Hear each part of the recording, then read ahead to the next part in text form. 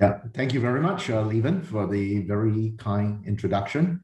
So, and thanks to everybody for coming. Well, to my uh, part two of my tutorial. So, like the routine is, I'm going to turn off my video to conserve bandwidth, and uh, please feel free to ask questions. Okay, so uh, yes. So the thing is, uh, you know, I'm going to uh, show my slides. Well, you know, the we have seen something like this right in the previous part. So, and the thing is, uh, for those of you who's uh, joining for the first time, I would like to, uh, well, you know, you, it's you, you don't really miss much. I'm just going to recap, uh, you know, the first definition that I had I discussed last time. essentially, uh, this could be uh, regarded as a standalone tutorial that is independent of the first one. Okay.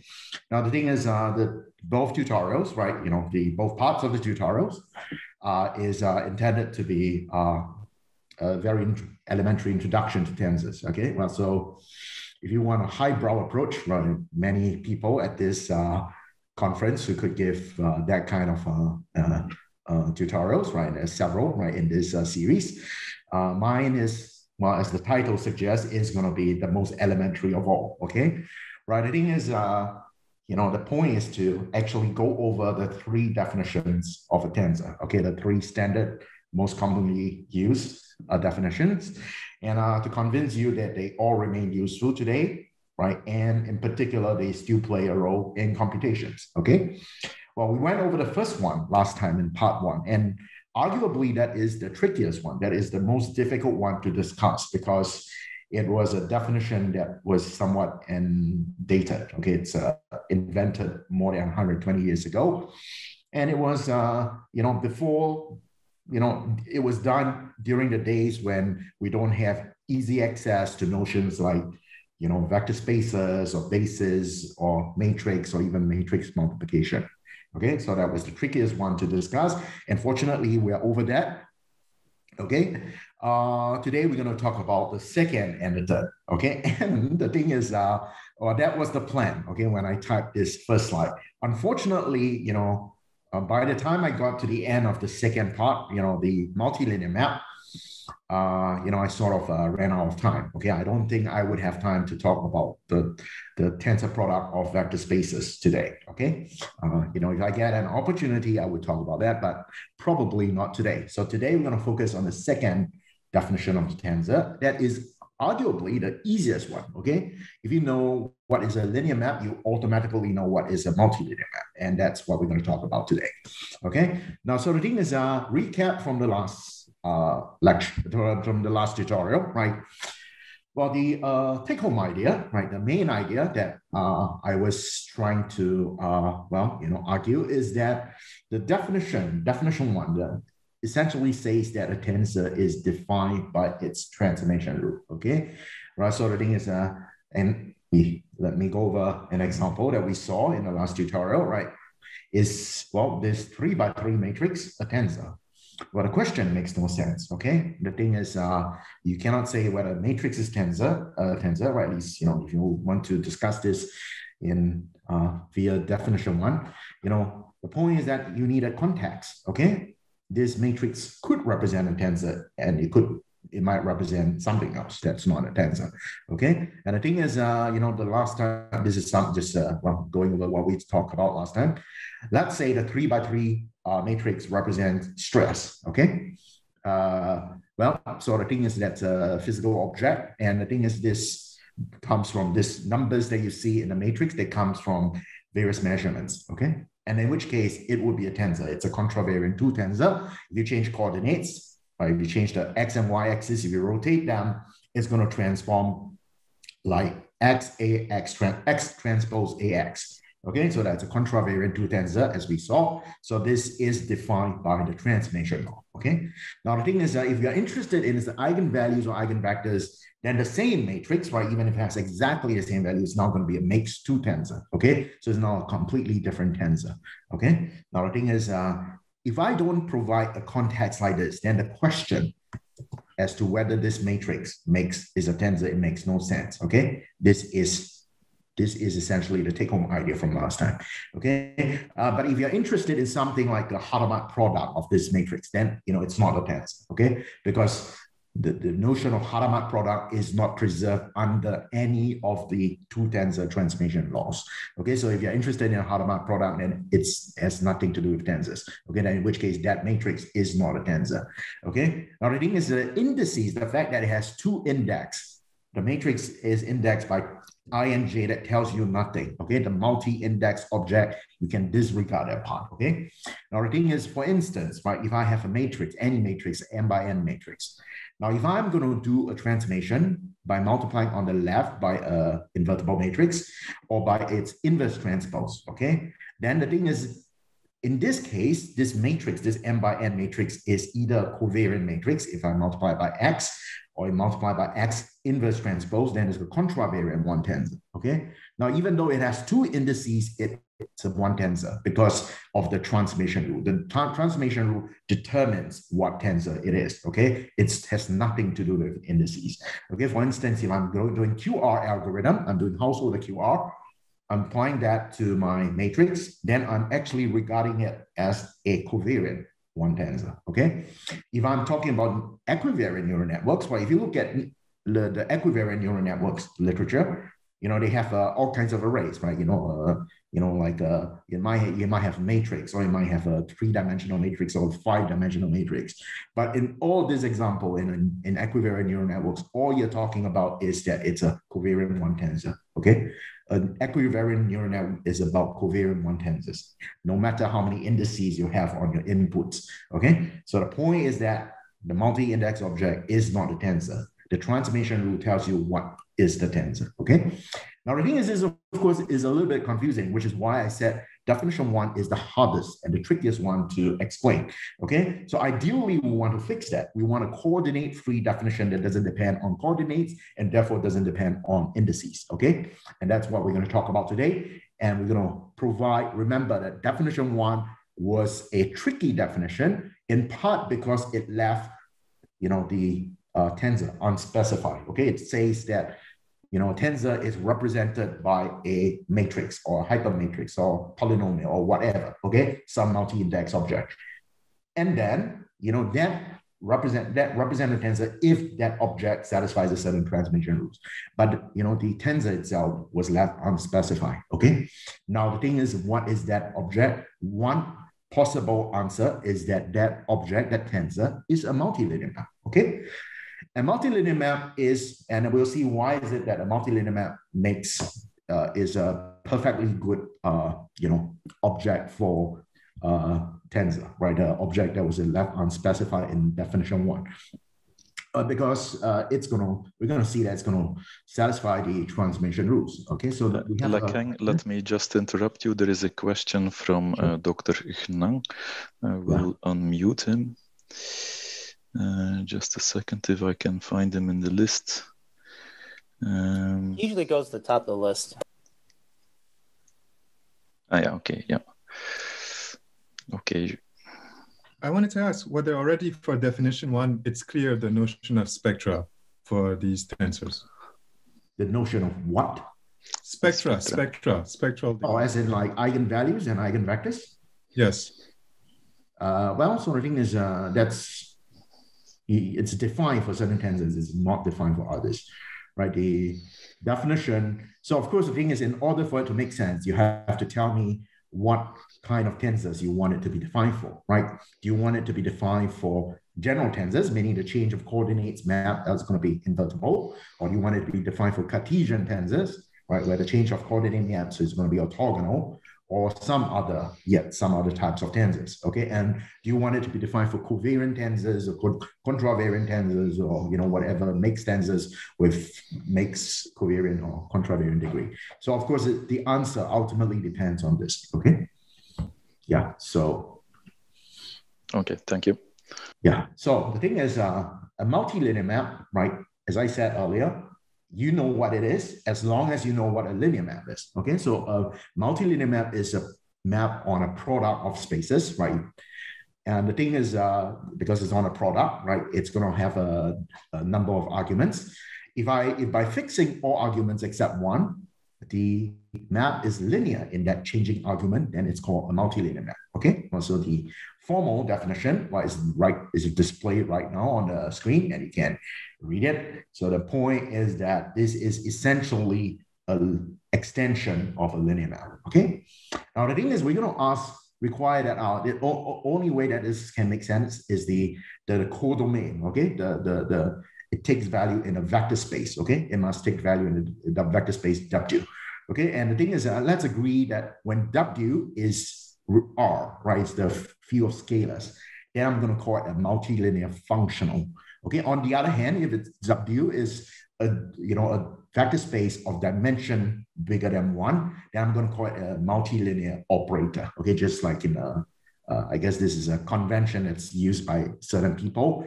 I use it just to distinguish operators from functional. Okay, functional means uh, W is equals to R. Okay, now I'm going to write MD V1 to VD W for the set of all multilinear maps. And obviously, this is going to be a vector space itself. Okay, I can take linear combinations of multilinear maps, right, from the same, uh, as long as they have the same domain and codomain. Uh, and this would be another multilinear map. So the set of all multilinear maps is itself a vector space. Okay. Now the thing is, of course, you know, in a case where D is equal to one, where I only have one vector space in the domain, then that is just the notion of linear maps. Okay, so it reduces, it includes linear map as a special case. Now, of course, the thing is, uh, uh, you know, we uh, you don't really learn about this in linear algebra. We're going to see that, you know, everything that you know it's it's like uh, uh, just only a, a, a, one or two steps away from what you already know in the linear algebra okay? Now the thing is why is this important? Why you know uh, from the point of uh, physics from the point of view of uh, physics okay? The uh, reason it's important is that it sort of is the reason we can understand phenomenons in around us okay uh, so it, it's sort of based on this uh, underlying principle that I call the linearity principle. Uh, actually, I learned this from a book by Manin and Kostrikin.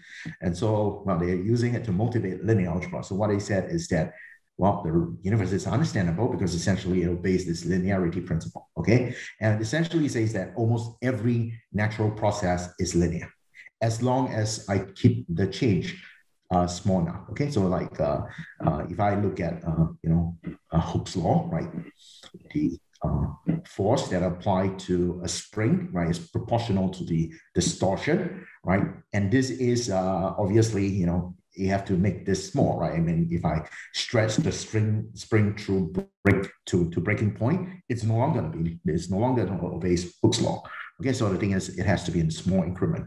Okay, so this is why linear algebra is useful. Now, what about multilinearity? Actually goes hand in hand with the principle of linearity. And the reason is because, you know, without multilinearity, you wouldn't even be able to observe linearity, okay? But uh, multilinearity principle says that if I keep all factors constant but one, then that varying factor, that changing factor obeys the principle of linearity right? So of course, you know about Hooke's law, you know about Ohm's law, right? Both are linear. Now the thing is, uh, you know, of course, I do not know for sure. I'll bet that if I apply a current to my spring, okay, then it's no longer going to obey Hooke's law because you know I'll bet the current is going to heat up the spring. It's going to cause the spring constant to be non-constant, okay, so that it would not obey a Hooke's law anymore. Okay, so the thing is, you have to keep other factors constant, right, in order to observe the linearity. And that is precisely encoded in the notion of a multilinear map, okay? By keeping all arguments constant, but one, the map is linear in that changing argument, okay?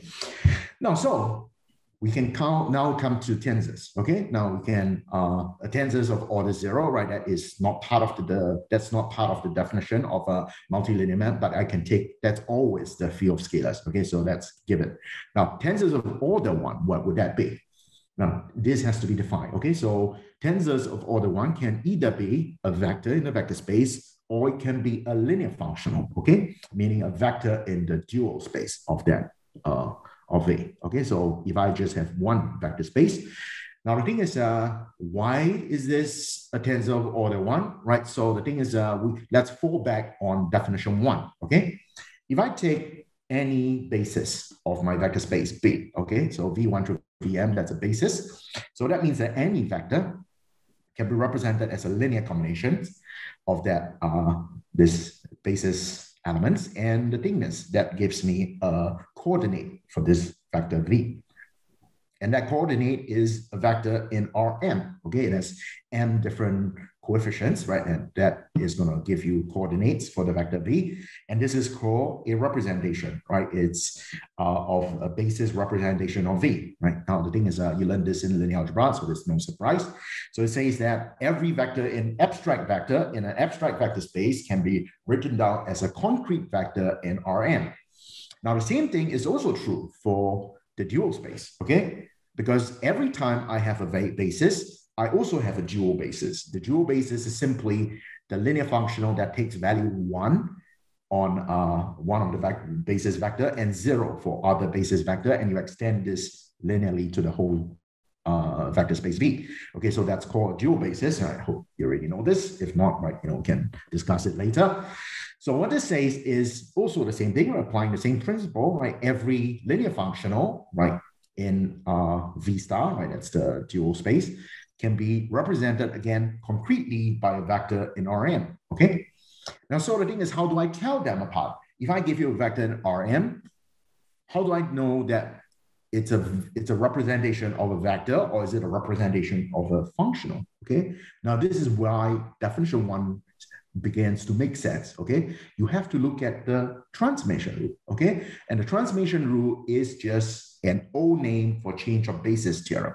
Now, if I take another basis and I represent my V, uh, my vector V in terms of this new basis, let's uh, call it V1 prime to vn prime, then the thing is, it's going to be related to the, the representation in the O basis, this one, by a multiplication of a matrix X inverse, where X is precisely the change of basis matrix. Okay, that's the when you express express a Vj in a new basis as a linear combination of Vi and O basis, the coefficients forms a matrix. If you look at look at it over all i and j, and this matrix is invertible. If the change of basis, right, if the coordinates right of your O basis is going to transform to the coordinates in a new basis in this manner, then I know that it's going to be a representation of a vector in V, okay? Otherwise, it makes no sense, okay? That whether this whether this vector, this A1 to AM in RM is a, is a tensor or not, it makes no sense. It only makes sense when I start to attach a transformation law to it, meaning a change of basis theorem, okay? So definition one, if you recall, right, is precisely an awkward way to define tensors by its change of basis theorem, okay? And now we're looking at the most basic one, okay? If it satisfies us, if the transformation rule is A prime equals X inverse A, then it is, in fact, uh, well, a contravariant one tensor, okay? Now the thing is vectors are essentially contravariant one tensors. What about uh, covectors? What, what about a linear functional? Well, if I change the basis, right, to Vj prime, and I look at the dual basis corresponding to this V1 prime to Vm prime, I would note that the transformation rule is now different, okay? The coordinate representation for the linear functional is now going to, uh, well, relate to the O1, right, by X transpose instead of X inverse, okay? So when it's X inverse, whenever it involves the inverse, you call it contravariant. When it involves transpose or nothing, it's just called covariant. So inverse is, you know, what makes it contravariant. If it's inverse so in the it uh, contravariant. Okay. So the point is that just based on the transformation rules, right? Vector transform like a contravariant one tensor, uh, or rather, I should say, a vector in a vector space obeys the contravariant one tensor transformation rule, and a linear functional, right, a vector in the dual space, obeys the covariant one tensor transformation rules. Okay, so that's why you know vectors are contravariant one tensor and and covectors uh, linear functional um, covariant one tensor. Okay. Now it's the same story if I look at linear operators. Okay. If I look at linear operators, again, if I choose basis, I get a matrix, m by n matrix that represent the linear operator, right? Again, the thing is this aij is simply determined in this way, right? I hope everyone has taken linear algebra before, and this is nothing. Uh, this is uh, this is familiar uh, information to you. Now, when I change my basis on my spaces U and V to A prime and B prime, from A and B to A prime and B prime, I get a new matrix that represents the same linear operator. And how are they related? How is A prime related to A? You notice that it's related in this manner, where X and Y are the change of basis matrix from A to A prime and B to B prime respectively. And where have we seen this? We have seen this in the last uh, tutorial, right? This is exactly the transformation law for a, or the transformation rule for a mixed two tensor, okay? So that's how we get mixed two tensor. Remember that there is an alternative version where instead the transformation rule could have the same matrix X and X instead of X and Y. And why is that? That's because when we have the special case, when this linear operator is between a vector space V and itself, and we choose the same basis on, on, on that space, then this is the transformation law. Okay, so the thing is, now that I introduce multilinear maps, everything becomes clear, right? Every transformation law is attached to a multilinear map, okay? And it is exactly the change of basis theorem for that multilinear map. Okay, so the transformation rule for mixed two tensor is the change of basis theorem for a linear operator. Now, if I look at bilinear functional instead, okay, a map that takes Q cross V, two vector spaces to R, that is linear in the first argument, or if the second argument is fixed, and it's linear in the second argument if the first argument is fixed, right? Well, we see this, for instance, right, uh, inner product is going to have this property, right? Now, I can also represent this as a matrix, right? Uh, so it's going to be an m by n matrix. And the representation in this case is very simple. It's simply beta evaluated on a pair of basis vector. Okay, I take a basis a vector from A, a basis vector Vj from B, and I evaluate that uh, beta on those two basis vector, I get Aij. Now this Aij, this matrix that collects all these values is going to be a matrix representation for beta. Okay, it's essentially the same idea as uh, as a linear operator. Okay, now again, if I change those bases, this beta, right, the matrix representation of this beta is going to change, right? It's going to change from A to A prime, okay? And how are they related? They're going to be related by A prime equals X transpose AY, or in the event when I have U equals V and the bases are the same, then it's going to be X transpose AX, okay? And these are exactly the transformation rule for covariant two tensors, okay? So linear operators are mixed two tensors, bilinear functions, channels are covariant two tensors, okay? How do I know that? Because I look at the transformation rule, okay? Right, okay, so, and the thing is every transformation rule on this list that we saw last time, these are all the transmission, all the possible transmission rules for uh, one tensors and two tensors, okay? Each one of these corresponds to a multilinear map, okay? So of course, remember there's a left-hand side and a right-hand side. The difference between the left and the right is simply uh, which, which uh, coordinate, uh, which uh, which uh, matrix or which vector I decide to put a prime on. Okay, so which one do I consider the new basis and which one do I consider the old basis? Okay, but essentially the left and the right are just identical transformation rules. Okay, just in the way I write. They differ only in the way I write them. Okay, now so each one of these transformation rule corresponds to a multilinear object. For instance, okay, I, I, I talk about covariant two tensors. What about a contravariant two tensor? What multilinear operator or what multilinear map does it correspond to? Well, it's very simple. It's going to correspond to the bilinear functional that maps U star cross V star to R, okay?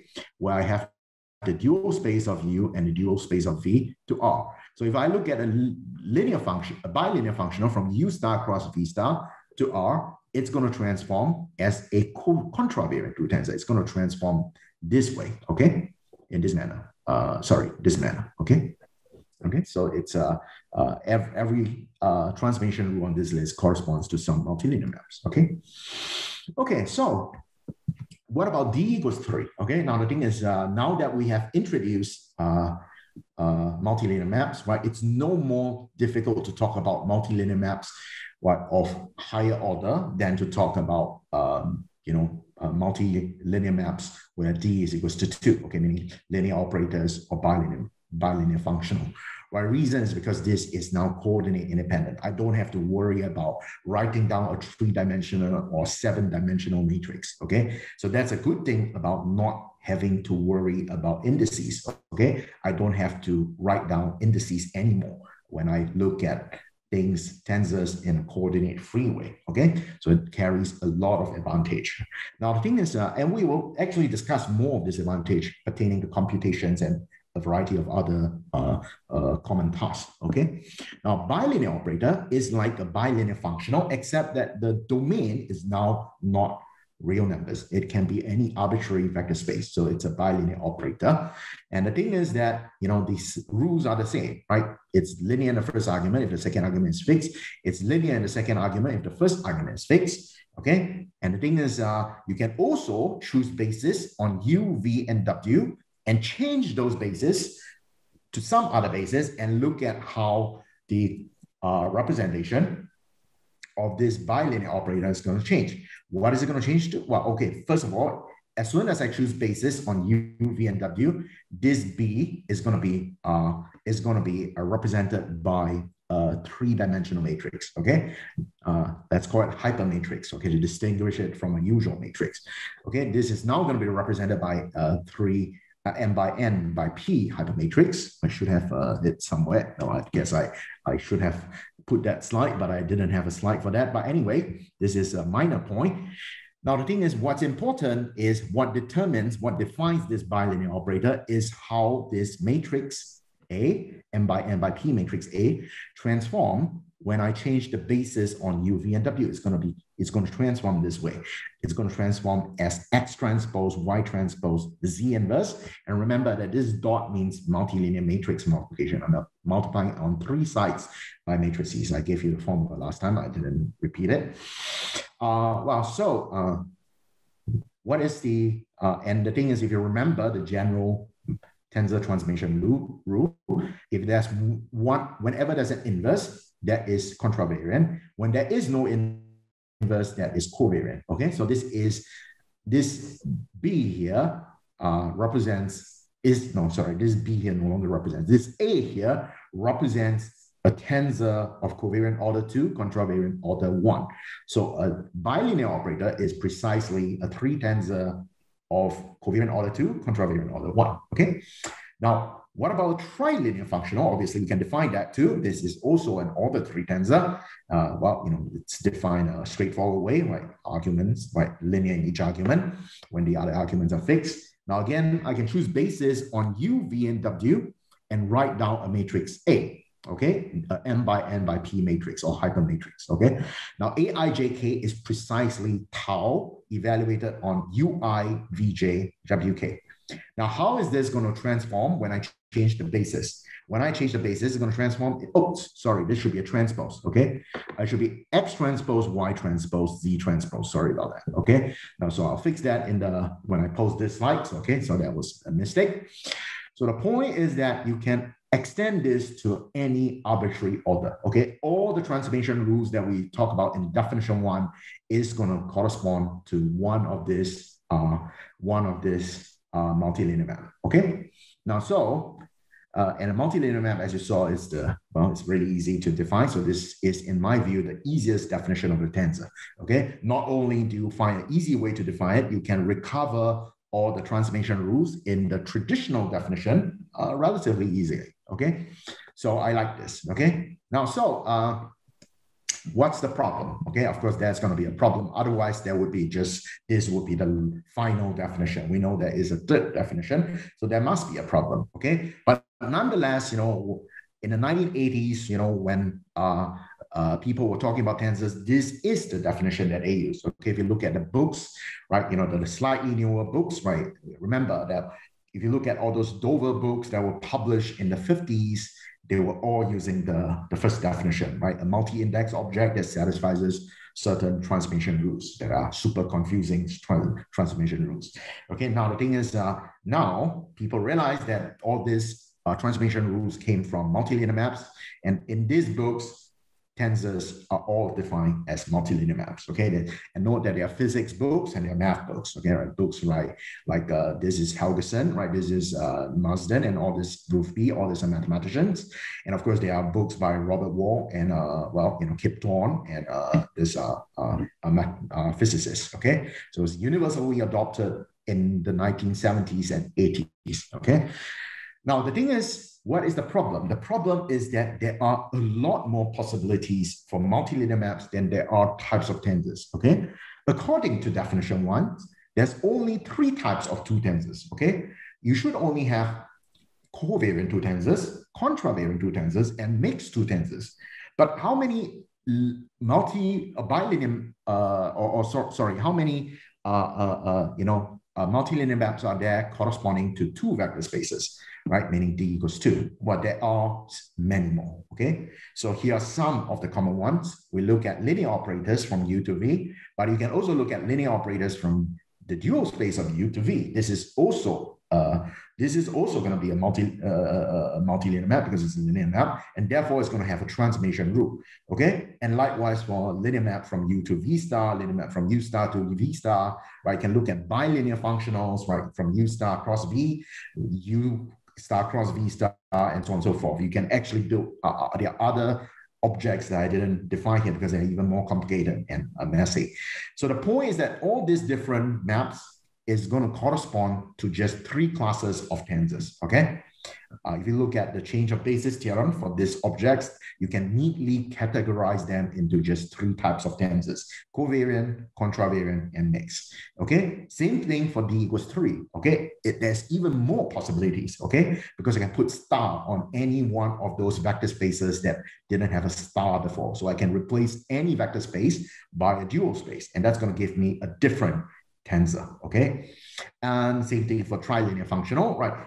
And you can build even more complicated maps. Like uh, for instance, now because you know I have three vector spaces, I can look at operator value maps, linear maps. Okay, like a map from a vector space to a linear operator. Okay, it takes value that are linear operators. Okay, or you can look at maps that maps linear maps that takes operators into well vectors. Okay, well, or you can look at bilinear maps between objects like this. Okay, so the thing is, uh, and there are more that I did not put down here. Okay, for instance, I can put star, or I can put, I can replace any one of this vector space with their dual space, and I get yet other, you know, uh, all the three tensors. However, every one of these ultimately can be classified into, well, you know, essentially covariant three tensor, contravariant three tensor, mixed three tensor of contravariant order two, covariant order one, and mixed three tensor of covariant order two and contravariant order one. They are exactly four classes. Okay.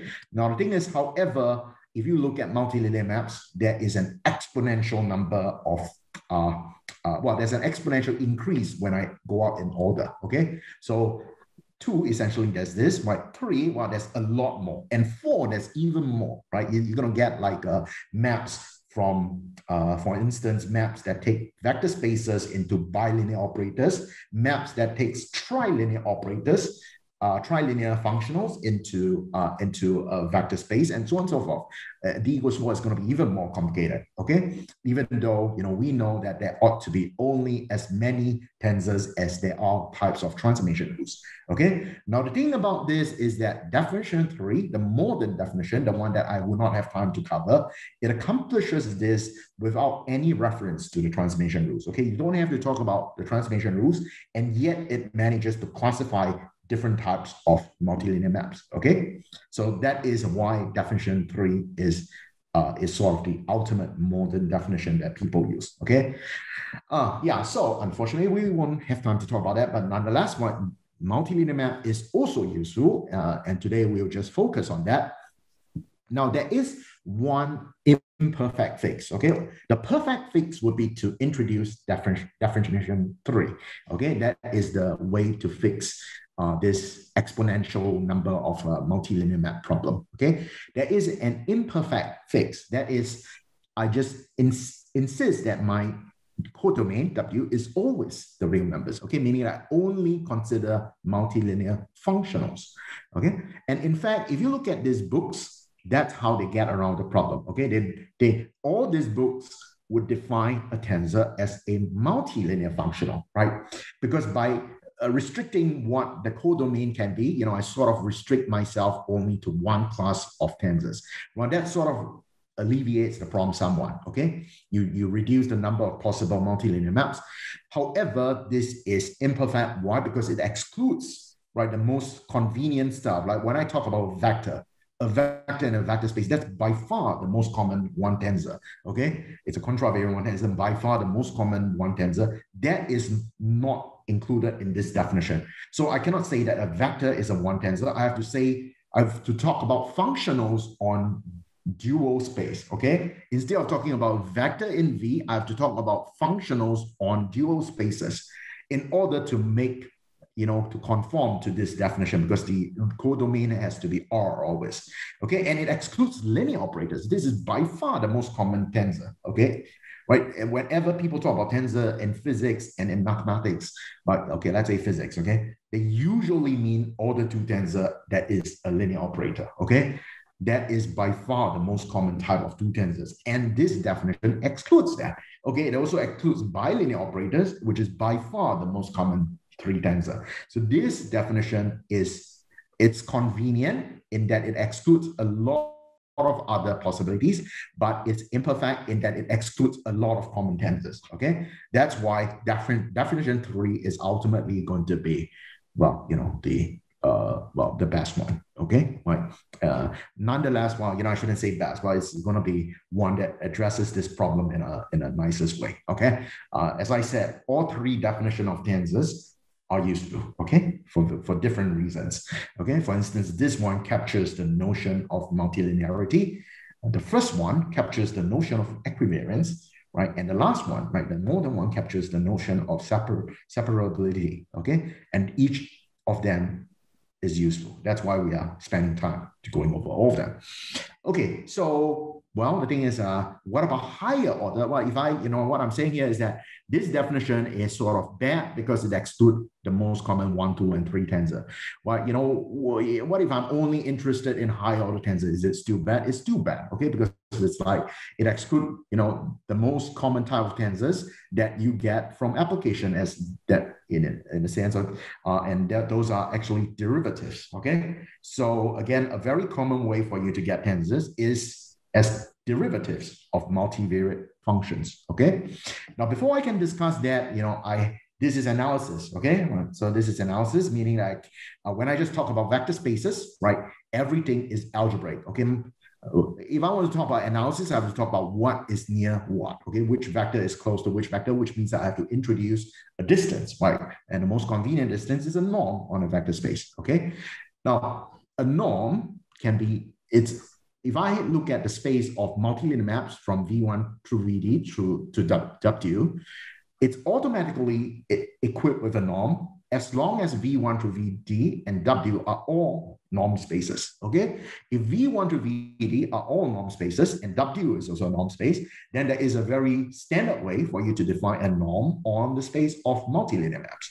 And this is a norm that you are actually familiar with, right? You are familiar with the case when this is um, a linear operator, okay? What is the most reasonable notion of norm? It's gonna be how it maps the open ball, okay? How it maps uh, the unit ball, sorry, okay? How it maps the unit ball in into the the new vector space, right? And how far, how much does it stretch the ball, okay? And that's essentially the operator norm, okay? Now in this case, we have multilinear operator. We have looked at its action on a product of unit balls, okay? And so this essentially is the generalization of that, okay? So this defines a very natural norm on uh, the space of multilinear maps, okay? Now, so actually I have abused notation a little bit, you know, that I am using, you know, this V1 to V, VD, they are different vector spaces and they ought to have different norms if I put norms on them, but I'm using the same notation. I hope you forgive me for that. And this is a very slight abuse of notation. Now, once I equip my spaces with norms, I can start to talk about analysis. Okay, I can start to differentiate things and you know uh, talk about continuity and open sets and things like this. So if I have two norm spaces, okay, V and W, and I have an open set in uh, V and a map from this open set, right? This is no longer going to be a multilinear map. It's no longer going to be a linear map. This is a non-linear map in general. The map from omega to W, non-linear in general, right? How can I talk about its derivative? Okay, this is, of course, it takes value in W, right? So as long as W has a norm, okay, well, I'm assuming finite dimension, okay? Now everything is finite dimension, okay? Then I can define the derivative in the standard way, okay? I guess this is due to Frechet, it's often called Frechet derivative. So the derivative of f at a point v is going to be a linear operator, okay? It takes value in a linear operator. dfv is going to be a linear operator, and it's going to be a linear operator in from v to w, okay? And it is a derivative provided it satisfies this this uh this condition that if I make a small change in my f, then this essentially is the first order part. Okay, it's linear, right? Exactly the principle of linearity. Any phenomenon where f is nonlinear in general is uh, uh, well, it obeys the principle of linearity, provided the change is small enough, h goes to zero. Okay, the change is small enough, and this is essentially a derivative. So this is the linear object, and this is principle of linearity at play, okay? Now, the thing is, uh, the best thing about this definition is that you can apply it recursively, okay? Uh, this assuming that limit exists, then in which case it's differentiable, then this limit is, uh, this object here is called the, uh, uh, the derivative of f.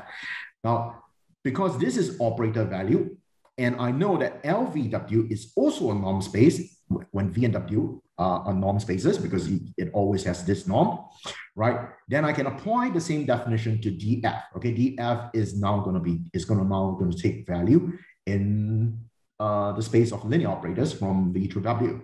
So I can apply exactly the same definition, but with LVW in place of W. Okay, in which case I get D2V a D2F, okay? So D2FV is going to be a linear map from V to LVW.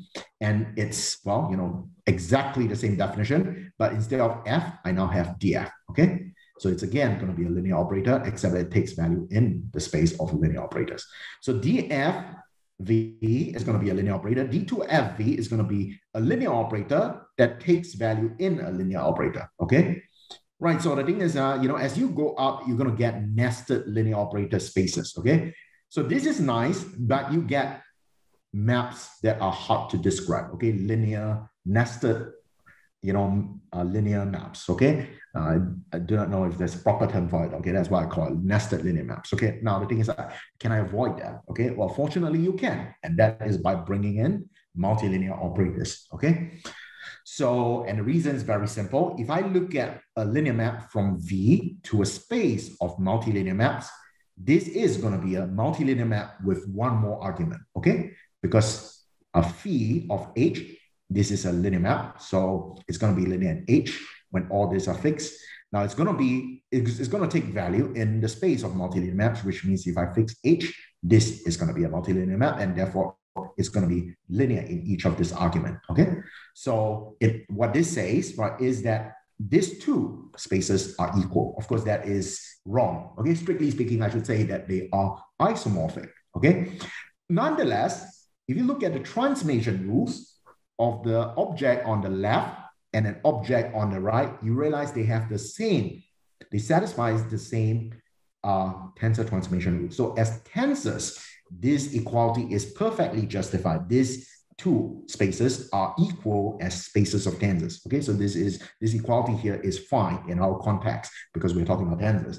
Okay, now the thing is uh, with this observation, now the high derivative of a function is simply a multilinear operator. Okay, it's going to be a multilinear operator from a product of d copies of v to w. Okay, and with this, I can write down things like Taylor's theorem, like uh, with various remainders, right? Now, so the thing is, uh, this is one reason why you want to use multilinear maps and you do not want to just simply discard that notion, right? It's very, very useful, okay? Now, the thing is, uh, as I said several times, okay, you know, uh, before, right? You know, ultimately, you know, each of this multilinear map has a matrix or hypermatrix that represents it as long as I choose basis. So why not just treat them as hypermatrices? Why not just you know ignore pick a fixed basis and then forget about that and just work with the hypermatrices? Well, the thing is, uh, there is of course some advantage with that, right? You know, people like hypermatrices. People don't like multilinear maps, even though, you know, to be frank, I don't understand the reason, okay? The uh, multilinear map is a very simple object, right? Now, nonetheless, let's say you want to write it down as a hypermatrix, right? Okay, or a matrix. Uh, well, let's say hypermatrix, okay? Let's say D is at least three, okay? If D is at least three, okay, then this problem, simply the act of writing down the hypermatrix, this problem is already intractable in general, okay?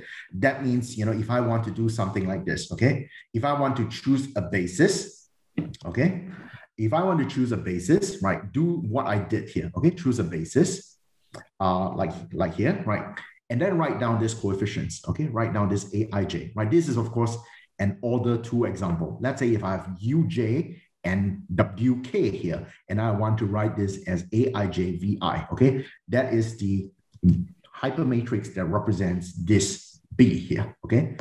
Right, just the simple, well, you know, act of writing down this, this, this hypermatrix is already an intractable problem in general. We'll see that very soon, okay? And the thing is, it may not even be possible. Okay, intractable means at least it can be done in principle, right? We just need to spend a hell lot of time to compute that, right? It may not even be possible. Okay, that's uh thing is that you know so far, you know, the way I define uh, multilinear maps is over vector spaces. Okay, meaning the, the scalars that I use are always going to be uh, real numbers or complex numbers. That's not always the case. Okay, multilinear map is a very nice uh, sort of a phenomenon. It extends to uh, modules. What are modules? Modules are essentially vector spaces where the field of scalars can be a ring. It can be a non-commutative ring. And we're going to see examples very soon. And useful examples that people use in LAPACK, for instance, okay? And the thing is, uh, if I extend multilinear maps to modules, then I may not be able to write down a multilinear map as a hypermatrix. The reason is very simple because whenever I need to write down a let, hypermatrix. Let, let, let me interrupt you. There is again a question. Okay. Is it easy yes, to convey the intuition where the origin of the sharp P hardness comes from? Yeah, I'm going to talk about that in a minute. Okay. Thank you. So, uh, yeah, so the thing is, uh, this may not even be possible, right? sharp P hard says at least it's possible, but you just need to spend a lot of time computing it, right?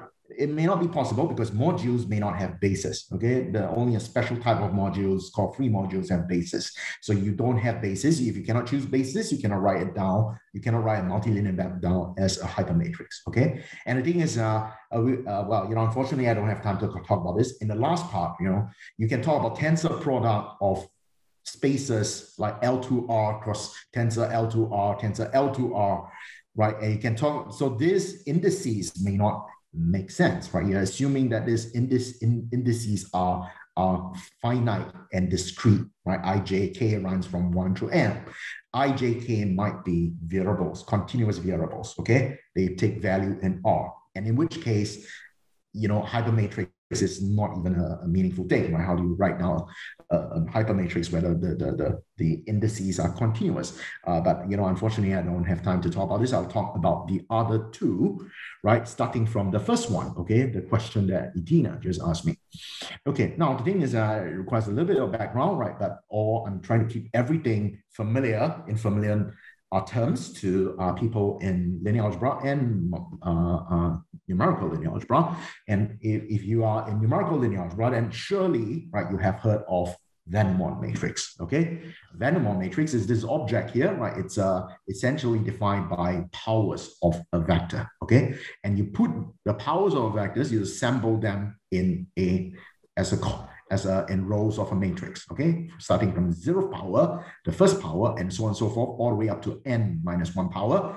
This is a matrix that comes out all the time. We saw it last week. We saw it when we have to change a Krylov subspace uh, a Krylov basis to an eigenbasis, right? Uh, change from a Krylov basis to an eigenbasis, we have to use a Vandermonde matrix, okay? Now, so this is sort of bread and butter for people in numerical linear algebra.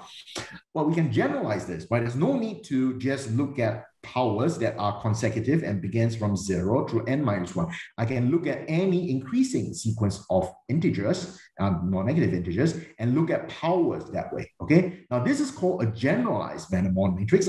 It comes up in numerical analysis too, okay? That I think is, it may not be as well known as your usual Vandermonde matrix, which corresponds to the case where these numbers are zero through n minus one, okay? Now, the thing is, uh, what you can see quite easily is that when these numbers, this di, are each are at least greater or equals to i, meaning that these powers here are at least as big as the powers in the matrix in the bottom, okay? Then this, the determinant of this object, of this matrix on top, is going to be divisible by the determinant of the matrix in the bottom. Why? Well, because the thing is, uh, if you have studied Der Waals matrix at all, surely you know the determinant. Okay, the determinant of the van of a der matrix, a regular one, is simply the product of xi minus xj, right? Uh, let's say i less than j. Okay. Now the thing is, uh, well, when okay, well, the thing is actually let, let me not go go go uh, spend time on this. I'm running out of time already. So well, the thing is, take it on faith. This is an easy fact that the determinant of the matrix on top is divisible by the determinant of the matrix on the bottom, which means that whenever I look at, I choose my any positive numbers and make sure that these positive numbers are at least as big as you know the numbers in the bottom, then this this thing here, right, this matrix here is going to be, uh, sorry, this determinant on top divided by this determinant at the bottom is going to be a polynomial. Okay, it will not be a rational function because it's perfectly divisible. Okay, so whatever I get is going to be a polynomial. Okay, and this is a symmetric polynomial. What is a symmetric polynomial? Simply means that it doesn't depend on the order of the arguments. And why is that? It, it follows from the definition, right? If I permute x1 to xn, I'm just going to change the sign of the determinant. But the, the determinant of the denominator is going to change in exactly the same way. So, well, it shouldn't depend on the order, right? So these are called symmetric polynomials. And let's take u, v, and w, right, our vector spaces to be symmetric polynomials of degree d and d prime. And the last one is going to have degree d plus d prime. Okay, these are all homogeneous polynomials, meaning they have the same, every monomial is going to have the same degree. Now, and I'm going to define my bilinear operator to be product of two polynomials. So I'm going to take a polynomial right, of well, uh, a symmetric polynomial in U, meaning has degree D, a symmetric polynomial in V, meaning has degree D prime, and form simply take its product. Okay, the product obviously is still going to be symmetric, right? It has the same property here, uh, but it's not going to have degree D plus D prime. So this map is well defined. B maps U cross V to W given by the product of the two symmetric polynomial. Okay, now the thing is, I'm going to tell you that writing down the coefficients of this bilinear operator, okay, meaning writing it down as a three-dimensional hypermatrix of dimension d by d prime by d plus d prime is a sharp P complete problem. Okay. Now, why? Well, the thing is, first of all, it depends on what basis, right? I'm going to choose a basis. And this is simply the basis where, you know, it's going to have this property. But in addition to this property, right, that the numbers are increasing, this numbers is going to be an integer partition of d, okay, meaning that they're going to add up and it's going to be uh, equals to d, right? Uh, and I'm going to choose similar basis for v and w, okay? Uh, well, so uh, the basis for v is going to be an integer. This p1 to pn is going to be an integer partition of d prime, and the basis c for w is going to be an integer partition of d plus d prime. Okay. Now the thing is, in principle, I can write b, the bilinear operator that that takes two symmetric polynomial and forms their product. Uh, in principle, I can write it down as a d by d prime by d plus d prime hypermatrix. Now, the thing is, uh, this is exactly the how you write it down. I'm going to take a ui from this basis. I'm going to take a vj from the same basis, but in B. And I'm going to write it as a, a linear combination, right? This is going to be an object in, in W. So you can write it as a linear combination of uh, basis element in C, right? So this is obvious, right? Obviously, you can do this. Now, obvious doesn't mean computable. Okay, this is intractable. This AIJK are what's called Littlewood-Richardson coefficients. Okay, and computing Littlewood-Richardson coefficients is a well-known sharp P complete problem. Okay, the person who proved it is Hari. Uh, you know, it's a uh, somebody who's is an alumni of uh, U Chicago, right? So we're very proud of him, right? So it's uh, this result is due to him. Now the thing is, there's also a linear algebra connection. Okay. Now the thing is, this AIJK, right? This Littlewood-Richardson coefficients are very important, right? These are not some stupid object that I made up just to tell you that hypermatrices can uh, are, are, are sharp P complete to write down. These are very relevant in a lot of applications, right? From topology to algebraic geometry to, you know linear algebra. Okay. For instance, Horn's conjecture, right? You know that you know essentially it's a series of inequalities relating eigenvalues of sums of uh, Hermitian matrices to well you know generalized notions of trace. Okay. Now this was proved by uh, Klyachko and Knutson and Tao, okay? And both their proofs, right, you know, uses Littlewood-Richardson coefficients, but, you know, slightly differently. Um, Lek-Heng, there is again a question. Yes. So in the previous slide, I see what S of X is. What is T of X? In the slide T of X before? is another, uh, T of X is, uh, so of course, S of X is going to be an element of U, T of X is going to be an element of V right? So U is symmetric polynomials of degree D, V is symmetric polynomials of degree D prime. If you don't like D and D prime, you can have take, take both of them to be D. And I think it's due, the sharp P hardness result is still the same, okay? All right, thank you. Okay, thank you. Okay, so thank you for the question, right? So now the thing is, uh, I've talked about why multilinear maps are important, right? You know, is a general tool, right? You need them for higher derivatives and why you cannot in general substitute them with hypermatrices, okay? Because, you know, first of all, it may not even be possible to write them down as hypermatrices. And even when it's possible, it may not be computable, okay? Now, how are multilinear maps relevant in computations? And the reason, you know, I have to discuss this is because, of course, that you know this workshop this long-term program ultimately is about computations right? Uh, and we need that for it's about tensors but it's about computations right? So that we can use them in uh, various applications in physical sciences and data sciences.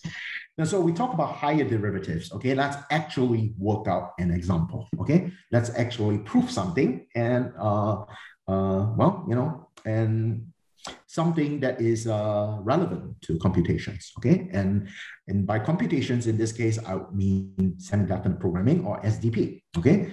Now, the thing is, uh, almost all of you know that SDP, right, can be solved in polynomial time using interior points uh, algorithms, okay?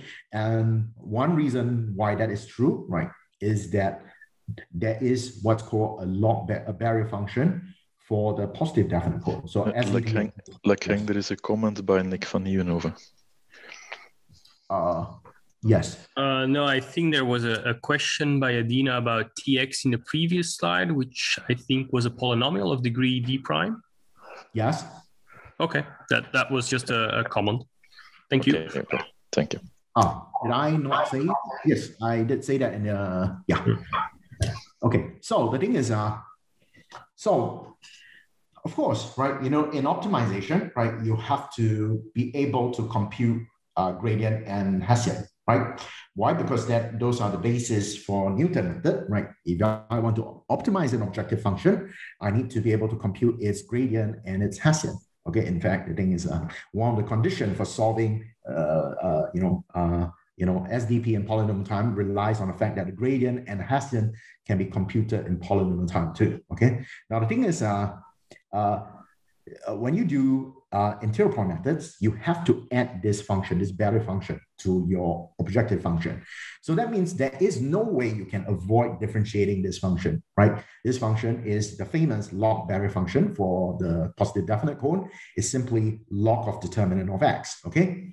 Now the thing is, I'm going to do SDP essentially is optimization over the cone of positive definite matrices. Okay, it's optimization, but the variables are now positive definite matrices. Okay, now the thing is, uh, uh, this function you can write the gradient is very well known. The gradient of f uh, negative log determinant of x is actually minus x inverse, okay? And you can also write down the Hessian. What is the Hessian? By definition, the Hessian, right, in this context is defined as the derivative, right, as we defined earlier, of this multivariate function uh, gradient, okay? Now, so what is this, right? Remember, uh, a derivative is operator value, okay? So the value of this uh, Hessian is going to be a linear operator, right? The linear operator from Sn to Sn, that's the, the vector space that uh, Sn plus plus lives in, okay? It's going to be a linear operator that takes a symmetric matrix to X inverse H, X inverse. X is this positive definite matrix here, okay? Well, the thing is, either you know this, right, or otherwise you're not going to be able to sort of uh, see this right away, okay? So this is very well known in semi-definite programming, SDP, right? And the thing is, uh, but, you know, to write this down to see that even like the gradient is of log determinant of x is x inverse, right? And the Hessian is given by this funny thing here, x inverse h x inverse is going to be the map that takes h to x inverse h x inverse. You know, this would not be immediately clear to you, okay? Now, so the thing is, uh, because, why? Because if you look at like your standard formula for gradient or Hessian, they are useless in this context. Okay, you know formulas like this are only useful if you have like a R, or even so, uh, you have to have really simple functions for them to be useful. And of course, you know, uh, why is that? Well, that's exactly the same reason. Okay, writing down hypermatrix representations of multilinear maps, even when they are just linear maps, okay, is not useful in general. Okay, it's useful well when you have Rn, but you know, formulas like this useless, okay? You try to compute this using either one of these formulas, you probably will not get this, okay? It's, you have to do it with hindsight. You have to sort of know that this is the answer in order to to, to, to use standard formulas to get that, right? And of course, that's uh, besides the, that's entirely not the point, right? You, you want to be able to get this without actually writing down formulas like this, with, uh, right? Now, so, uh, so in SDP, right, you don't have Rn, right? In SDP, the vector space you deal with is n by n symmetric matrices, okay? And so this tells you why is it it's a bad idea to identify n by n symmetric matrices with Rn times n plus one over two, right? This is a vector space of dimension n times n plus one over two, right? Every vector space of dimension d is going to be isomorphic to Rd, right? So in particular, it's isomorphic to this, but you know, for, there are good reasons to not make that identification. Otherwise, you will not be able to write down formulas for the gradient or the Hessian. And these are important, right? You know, because it's when I need to compute this, I can actually use fast algorithm for matrix inversion and fast algorithms for matrix multiplication. Okay. Whereas if you don't see this structure, right, that these are indeed these are just matrices, you lose that capability. Okay. Now the point is uh, I'm trying to, uh, you know, get at is that I want not just the first and second order derivative that is well known. If you studied studied uh, convex optimization, you know this. What about higher order derivatives of this function, and why are they useful? Because, well, you know, one reason is that we need uh, the notion of self-concordant, right? This log barrier function here, it has a property called self-concordance, uh, and I will define that uh, for you later. Yes. Uh, there's a question.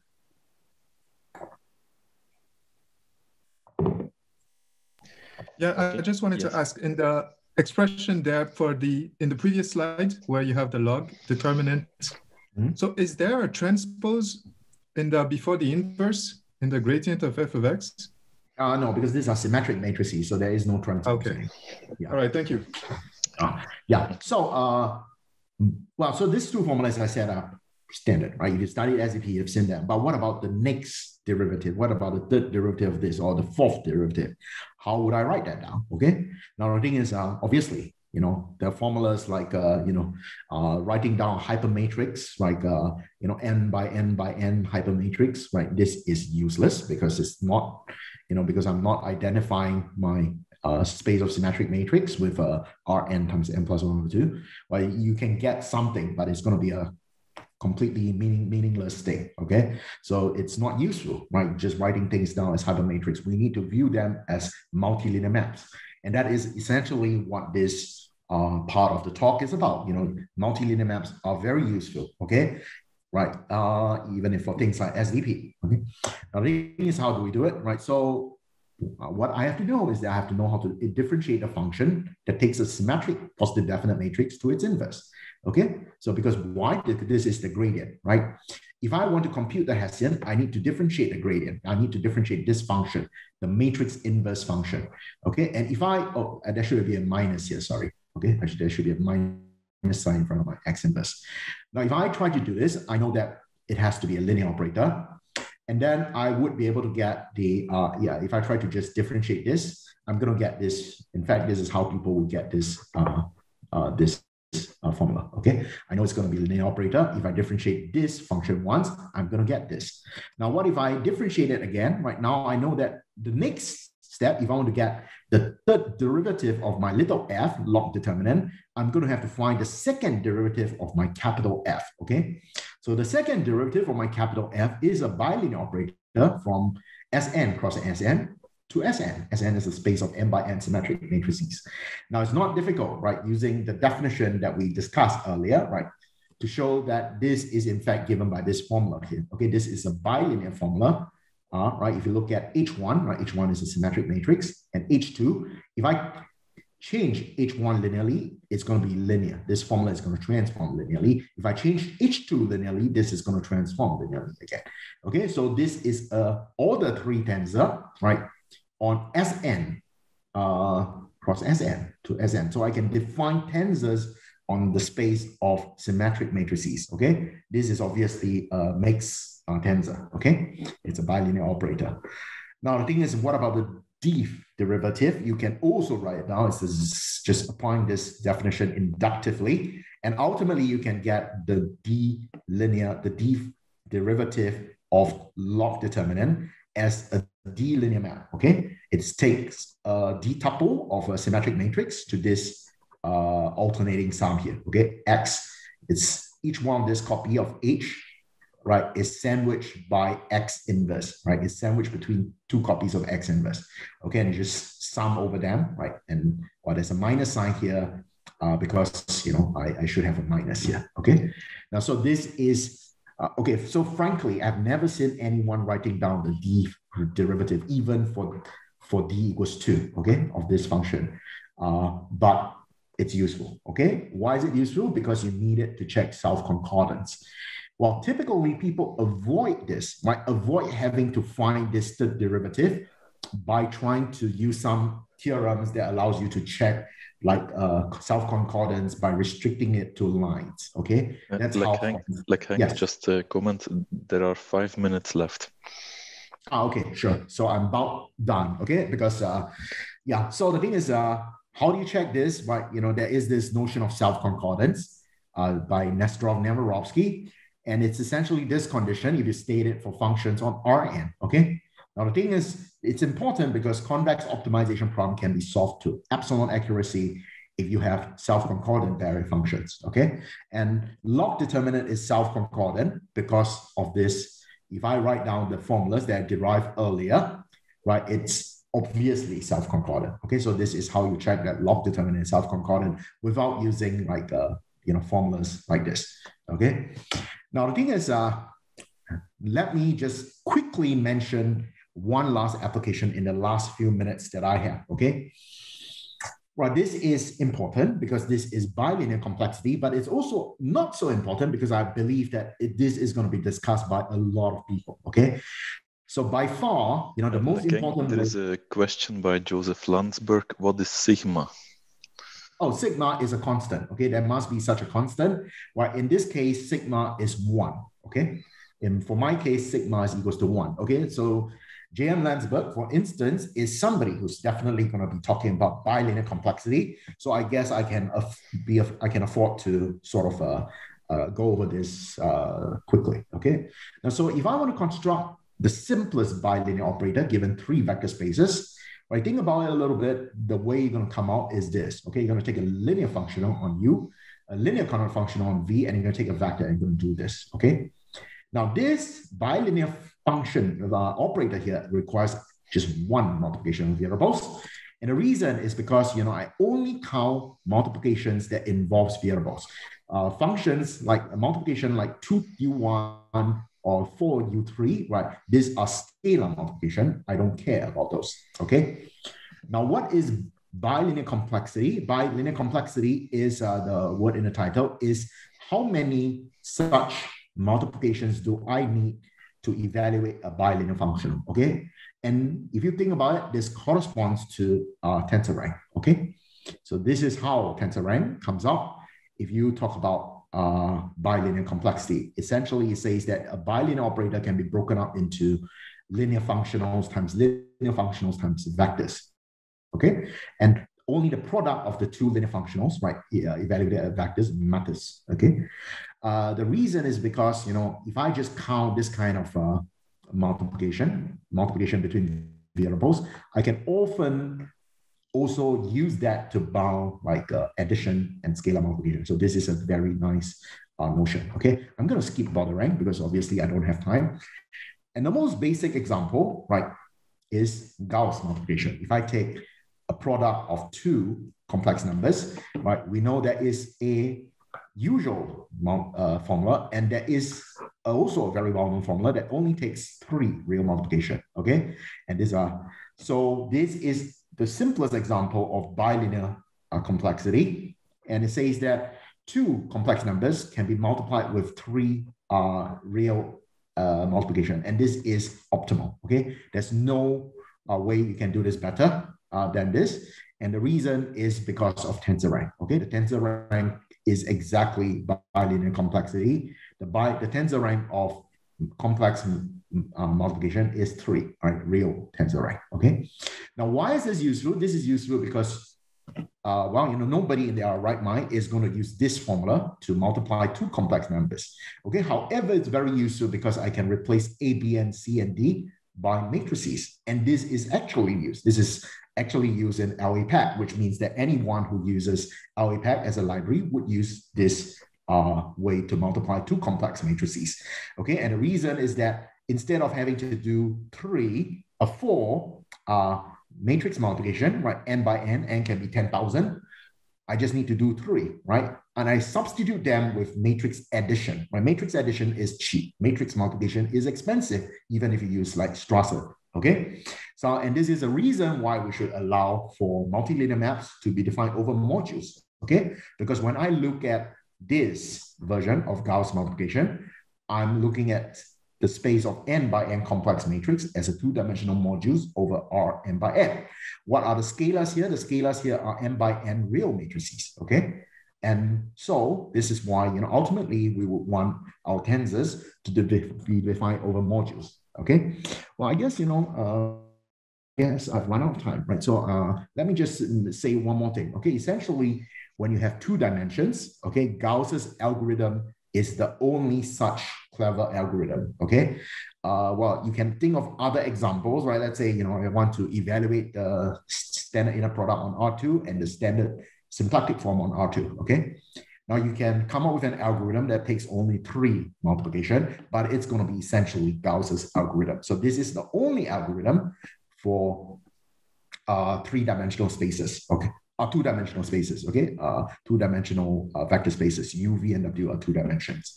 What about three dimensions? Okay, well, the only interesting example that I know is if you consider skew symmetric matrix vector product. Take a three by three skew symmetric matrix. Right, this is defined this has three dimensions, A, B, and C are the only variables, times X, Y, Z, okay, times a vector in R3. Then the thing is you're gonna get this uh, three different linear functional, right? Now, the rank of this bilinear operator, right, takes it's uh, it takes a skew symmetric matrix and a vector and splits out a vector. Now, the rank of this is five or six, okay? And the thing is, I guess I'm going to end here, right? I do not know whether it's five or six. I just know that it's either five or six. So I'll leave this as an open problem for the audience, and I would end here, okay?